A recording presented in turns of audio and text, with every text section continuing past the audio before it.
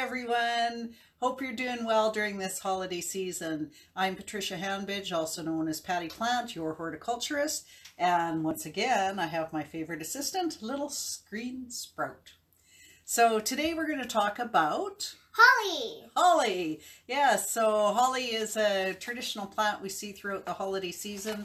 It's very typically uh, seen in florist shops and, and even some of your big box stores at Christmas time. Quite often you'll see branches of glossy green leaves and beautiful red fruit. So tell me, Sprout, what do you know about holly?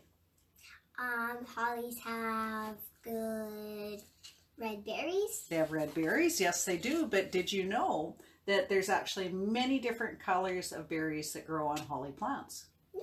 The green and, and blue, and there's actually a cultivar called canary, and guess what color those berries are? Red.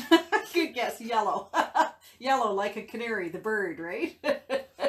yeah, so anyway, uh, holly is a really interesting plant because it comes in all different sizes and shapes. Um, some are deciduous, some are evergreen. It grows right down from sea level up into high in, in mountainous areas. Um, it is the only living genus in the Aquifoliaceae family. So holly or the genus Ilex is the only genus left in that family. So interesting, isn't it? Has lots of history associated with holly. Um, if you're a Christian, you uh, may know the carol, The Holly and the Ivy, and the holly is referred to as Jesus, and the Virgin Mary would be the ivy. Um, it, Druids believed that it kept away evil spirits, so they wore it in their hair. Uh, so it's got a lot of history associated with um, with it over the years, so that's kind of interesting.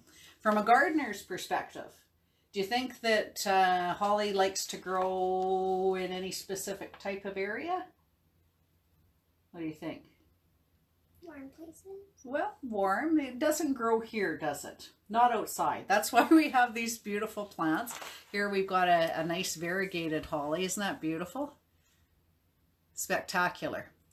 And this one, as you can see, the nice red berries and nice green glossy leaves.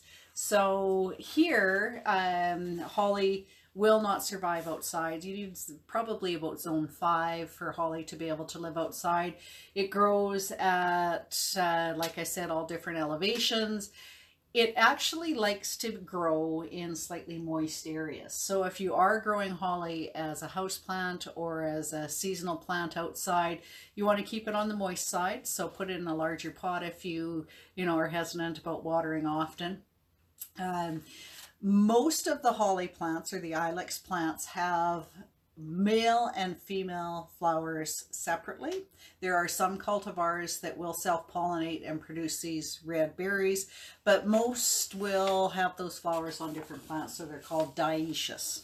There's a new word for you. we'll learn about the spelling later. So uh, holly's fun to grow. You'll see it in, in bouquets and in florist shops just because of these great red berries. If you happen to live somewhere that's a little uh, less severe, so Ontario, British Columbia, you'll see that holly grows everywhere. In fact, it can be quite invasive, so it is one of those plants that uh, can cause some problems in the landscape. So beware if you are living somewhere that doesn't have minus 40 in the winter because sometimes that can cause you some landscape grief. So um, grow it where it's moist. Um, this species is uh, self-fertile, so I don't have to pollinate. But interestingly enough, we are coming down and decided to talk about holly, and you can see there is, let's see if I can get to it, tiny little yellowish flowers that are coming along that will eventually produce more of these beautiful red berries. yeah, so uh, at any rate, I hope that um, all of you are safe and happy and enjoying the holiday season. And we will be back with more videos while I still have my favorite assistant, and some of them will be kind of fun. So looking forward to seeing you again next time.